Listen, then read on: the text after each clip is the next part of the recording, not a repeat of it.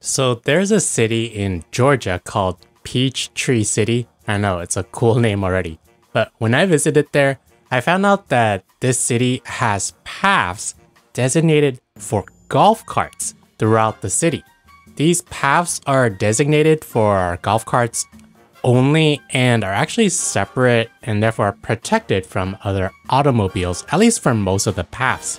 Find out how this city of Peachtree City promotes aging in place for older adults and how occupational therapists can be a valuable resource in these situations. If you are new to this channel, my name is Jeff, a board certified and licensed occupational therapist practicing in America. A common misconception about occupational therapists is that they help people to find jobs, but instead, they help people to do the things that they want to do that are meaningful to them. My goal is to increase awareness about the profession of occupational therapy to help people live healthier and happier lives. If this resonates with you, consider subscribing to this channel and joining to be a member. Check out the video description for other ways you can support this channel too. I'm Jeff, the OT Dude, and let's get functional. In many places in America, driving is an extremely important activity that many of us equate with freedom. Historically, the ability to drive and just go anywhere you want gave women in America a sense of and also more freedom. And to put this into perspective, only recently in Saudi Arabia did they grant women the right to drive. And one common myth I want to dispel is that older adults are generally more unsafe drivers compared to other age groups. However, many studies tell us that statistically, younger drivers are actually more likely to pose a greater risk to traffic safety than older adults. So, elderly drivers don't necessarily pose a greater risk than we are made to think, at least in popular culture. But with older age, we do tend to slow down overall. Our reaction times are slower, our senses are less heightened, our vision declines, our hearing is less sensitive. So, these changes can affect driving ability as well, but it does not necessarily mean that we should take away an older adult's driver's license just because of their age, though. But what I do want to bring the attention to, and this is probably not something that you think of until it happens to you or a family member, is that driving can be unsafe due to an acute condition or a chronic medical condition. Examples include getting into a car accident, having a stroke, or losing your vision, such as due to diabetes.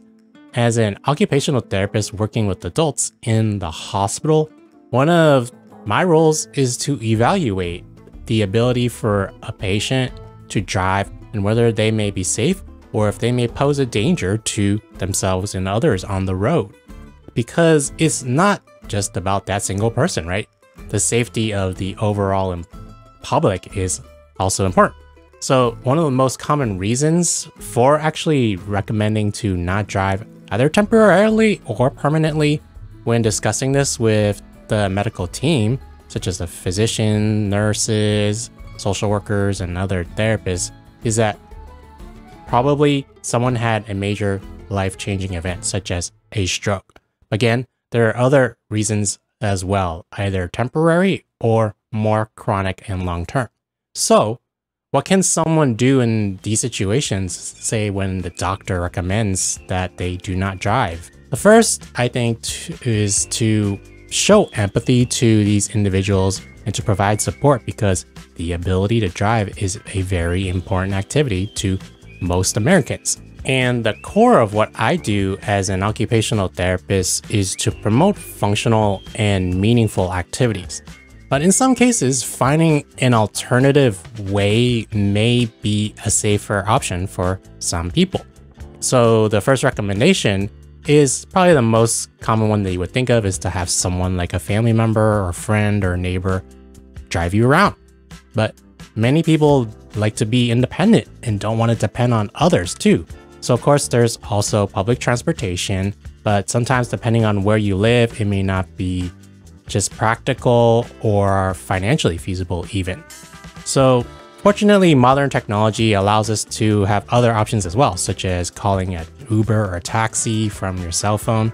But this can also get very expensive very quickly. One thing that you may not be aware of and you should know is that some insurances do cover the cost of some basically taxi services or private car door to door services for you for a year. And you may get like a quota, for example, 12 rides a year or something for, say, medical appointments, to go to the pharmacy, and things like that. So look into this if you are unaware of this and you think that your insurance may cover something like this. But of all of these, they still don't really allow one's independence, the freedom to just go wherever you want, whenever you want, without having to depend on somebody or wait around or spend a lot of money while doing it. So, what I found out when I visited Georgia and I passed by a city called Peachtree City is that you can't really go around noticing people driving around in golf carts. And I was wondering, what's up with that? A lot of different populations and groups of people, too, from older adults to families to younger folks to families with pets. And they weren't driving them on actual golf ranges, but on paths, it seemed like dedicated paths. And they weren't, you know, crossing paths with vehicles all that much, although there were vehicle crossings at certain points. So basically, the residents of Peachtree City have golf carts, paths that are designated for them, and they are city maintained paths for them to drive on safely too. So According to the Peachtree City website, their hallmark is their 100 mile network of paths for pedestrians, cyclists, and golf carts. And these paths allow residents to, and visitors as well to go from neighborhood to, say, shopping centers to parks, even go to school. And if you've ever been to Georgia, it's a really gorgeous state with a lot of beautiful scenery too. So it's not like you're just driving on a highway, so to speak. It's a pretty drive. It's nice that you can like literally hop into a golf cart and go to have dinner, maybe go shopping, maybe just hang out at a park and just drive back at your own leisure without the stresses of say road traffic, honking, getting cut off and, you know, even getting pulled over. And in case you are wondering, as mentioned earlier, at certain intersections, there are like road signs that have a designated golf cart symbol just so you can know that golf carts are going to cross at those certain paths. So I think it's actually pretty safe. And according to their website for their rules, some general common sense, of course, applies, such as obeying traffic rules while you're driving a golf cart. You should not drive under the influence as well or be distracted, say on your phone and driving a golf cart at the same time. And to drive a golf cart in Peachtree City, you can be actually as young as what I can see is 12 years old if you're accompanied in the front by the an adult in the front seat. Of course, these rules may change, so check the latest if you are going to do this, especially as a visitor. And according to the rules, you can actually drive a golf cart with or without a driver's license as long as you don't have your license suspended. So pretty cool, right? And from an occupational therapy and like a functional standpoint, especially for say older adults aging in place or even people with disabilities that it may may be unsafe to drive around in a regular car or truck or something, golf carts may be a really good option. Why? Well, they go at a much slower top speed of 20 miles per hour, and I would say they're arguably easy to handle, and the roads are arguably safer too, right? I mean, it's a golf cart, so I'm not saying people can't get hurt from golf carts or getting run over by it, but compared to trucks and cars and it's just more safer and you have less inertia and like mass if things were to happen. So much more safer alternative. And I think the drivers of these golf carts probably feel much safer knowing that their vehicle is harder to get into an accident with. But with all this said, what would I love to see in terms of just opportunity.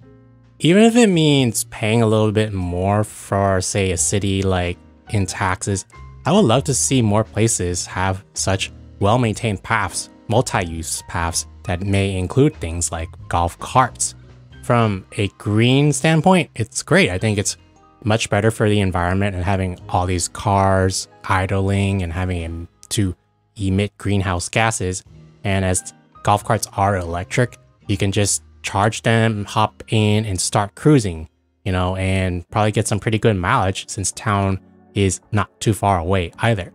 And also, compared to automobiles, golf carts are much smaller and take less room, so take less real estate in terms of just physical size. And you know, it's a great alternative. You're just driving alone or you just have two people driving to drive a golf cart than an actual large car that may accommodate up to five passengers. And some of these actually have room for cargo too. I actually passed by some houses. I think they had carports, but they were golf cart ports. So pretty cool, like garages for them, like literally dedicated for a golf cart as big as it, like no more. So definitely, I think it's pretty functional too. Like you can go to the shopping centers and business centers and I even saw in Peachtree City designated parking and spaces for golf carts where they're just lined up. So it's like a really efficient, like I said earlier, like physics.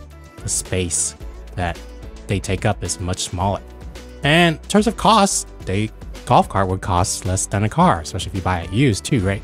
So with the actual like functional practicing and doing of driving, I think most people driving a golf cart would feel much safer because it doesn't go as fast. And, you know, if you were to get into an accident with another golf cart or something like that, it's just not as a big of a deal, I think. What are some cons to this? They aren't all pros, right? Well, according to the Peachtree website, it costs approximately $3 million to maintain the paths for the entire city per year, I believe. So to me, that seems like a lot in the beginning, but if all the residents pitch in and actually use it, I think it's a good use of the money. And because the workers have to maintain the paths and keep it like away from like trees and things like that. I've also heard of some drama going on with some non-residents using the paths, but I think they've since worked that out too, so I'm glad they reached a conclusion. And of course, there are some costs involved, so you have to pay a registration fee, I think several hundred dollars to get like a sticker to drive a golf cart, but I don't think that's too unreasonable compared to say other things like DMV fees. And another thing now sign is probably, at least I don't think, no air conditioning. So Georgia can get pretty hot, but with that intense heat, you know, you're getting some wind going through. You could probably time the day you drive. So like at nighttime, avoid like the hot sun. So I guess you could probably also adapt it and hack it and get like one of those fans, like portable fans and mount it on it. So I saw a lot of people driving around in it and it was like really hot day and they didn't seem to really have an issue. Like, course, be careful if you're prone to heat stroke, keep well hydrated and things like that. But I think it's a pretty cool thing to have this be able to like retire and get from point A to point B leisurely without having to get into a car and worry about the stresses of like road traffic and even road rules. Like you're just driving on a path, like you have to obey general traffic rules, but compared to like lanes, you don't have like laneage, you don't have lights, you don't have to change lanes, you don't have to like follow like rules and regulations as many of them. And so I definitely would be think it'd be cool to see this expand to other places, other countries. Let me know in the comments if you guys have something like this where you can have multi-use paths, especially and drive things like golf carts at them. I definitely want to know around the world what it's like for getting around and community mobility. So let me know in the comments. And what do you think? Would you be open to something like this being implemented or provided where you live? What do you think are the pros and the cons of something like this?